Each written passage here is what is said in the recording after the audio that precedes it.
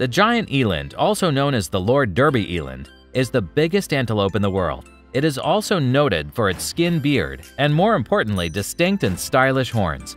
Giant eland has long, straight horns with one or two tight swirls close to the head. In females, the horns are thinner and longer. Pointing toward the sky, the horns become straight and sharp.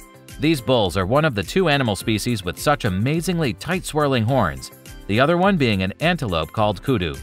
The impressive V-shaped hood ornaments of these bulls make them much sought after, and that's why eland has come close to extinction.